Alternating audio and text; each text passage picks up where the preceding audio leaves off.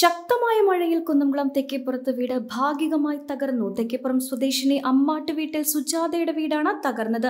ചൊവ്വാഴ്ച പുലർച്ചെ മൂന്ന് മണിയോടെയാണ് വീടിന്റെ മുൻവശത്തെ റൂം തകർന്നു വീണത്. മണ്ണും കല്ലും ഉപയോഗിച്ച് നിർമ്മിച്ച വർഷങ്ങൾ പഴക്കമുള്ള വീട്ടിൽ സുജാതയും വിദ്യാർത്ഥികളായ മക്കളുമാണ് താമസം.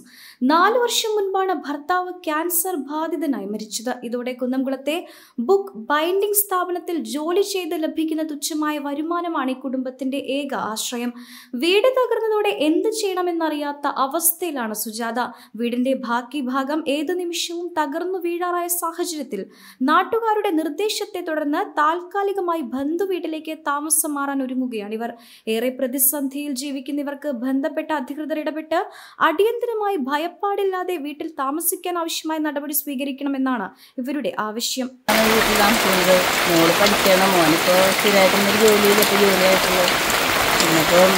പിന്നിപ്പോൾ വീട് ശരിയാക്കാനായിട്ട് മണ്ണ് വീടാണ് ഇത് ശരിയാക്കാനുള്ള സാമ്പത്തികം ഇല്ല? കുറച്ച് നാളായിട്ട് ഞങ്ങൾ പേടിച്ചിട്ട് തന്നെയാണ് വീട്ടിൽ കഴിഞ്ഞിട്ടുണ്ട് എപ്പോഴാണ് വീഴാന്ന് അറിയില്ല അങ്ങനത്തെ ഒരു അവസ്ഥയുണ്ട്. അപ്പോൾ അതേ ഇന്നലെ രാത്രിയൊക്കെ മഴയ്ക്കാണെങ്കിൽ ഇപ്പോൾ ഓരോ ഭാഗം വീണുകൊണ്ടിരിക്കുകയാണ് എന്ത് ചെയ്യേണ്ടതെന്ന് നമുക്ക് അറിയണ അറിയില്ല. എന്താണെന്നുള്ളത് എന്റെ പേര് അതില. ഞാൻ ലെജൻ കോളേജിലെ പ്ലസ് ടു വിദ്യാർത്ഥിനിയാണ്.